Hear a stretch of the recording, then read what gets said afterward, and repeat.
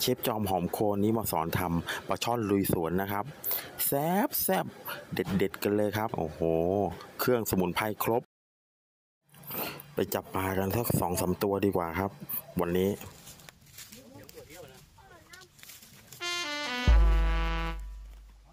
เริ่มเลย น้ำปลาสี่ช้อนโต๊ะ น้ำตาลมะพร้าวสองช้อนโต๊ะ คนให้น้ำตาลมะพร้าวละลายให้หมดเลยนะครับ น้ำพริกเผาสามช้อนโต๊ะ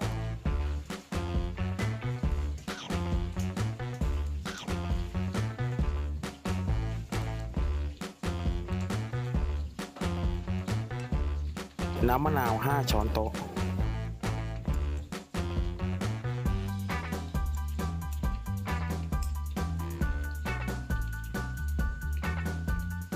จินดาแดง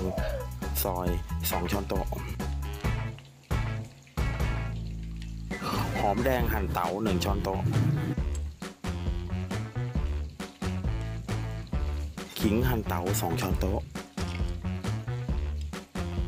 ตะไคร้ซอย2ช้อนโต๊ะ คลุกเคล้าทุกอย่างให้เข้ากันเลยครับ ขั้นตอนนี้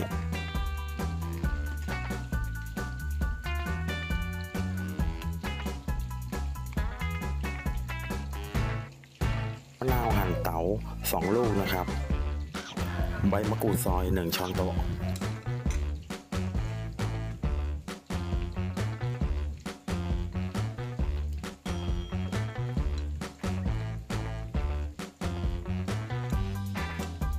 ใช้ปลาช่อนหนึ่งตัวนะครับ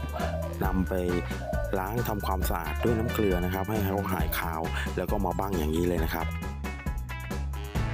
บั้งทั้งสองด้านเลยนะครับ แล้วนำทอดในกระทะใช้ไฟแรงเลยนะครับ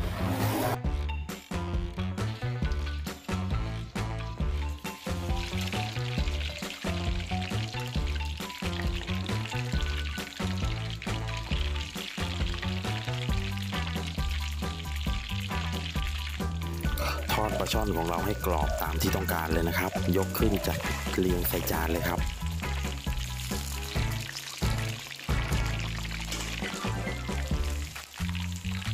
เชฟจะลองจานด้วยมะม่วงเปรี้ยวสับข้างล่างนะครับ ใส่ปลาช่อนขึ้นบน แล้วก็ราดน้ำจิ้มที่เราได้ทำไว้ลงไปเลยครับ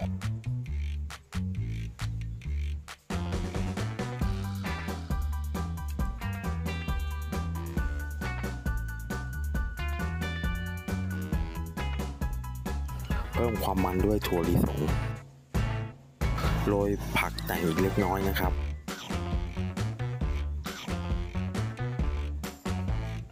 เสร็จแล้วครับ โอ้โห น่ากินสุดๆ ดูสิครับ ว้าว